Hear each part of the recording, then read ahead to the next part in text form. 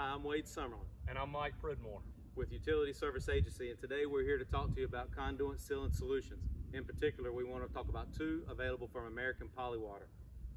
First off, we have FST. This is our heavier duty offering.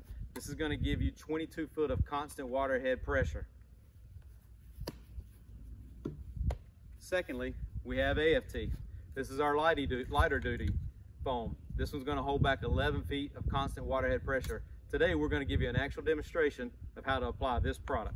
Hey Wade, what's the difference in these in these polywater products and this putty stuff that's on the market?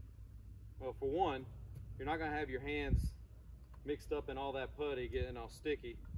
For two, our product is going to maintain its physical characteristics throughout the life of the product. That's going to dry up over time. It's going to start to allow leakage to come through. And to back that up, we're going to guarantee that you're going to get the water head pressure from this product throughout the life of this product. Why don't you get you a grime away and see if you can get that sticky off of there.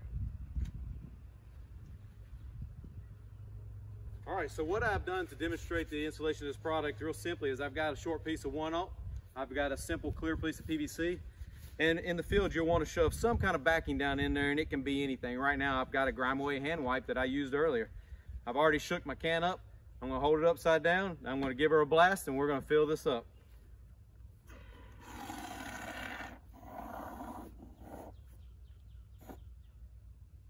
Okay.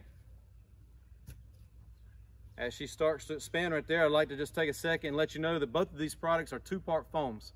That means they don't need the atmosphere to cure. They cure once they join in the mix. What that, why is that important is that means I get a constant cure throughout the entire application. This is a big difference between our product and what you can go down to the hardware store and buy, which is a one-part foam and requires the atmosphere to cure. So you get a different cure ratio on the outer edge versus in the middle give us a call. Let us come do a full demonstration of this product in the field for you.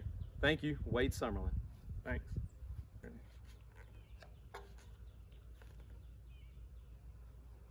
Golly, Pridmore.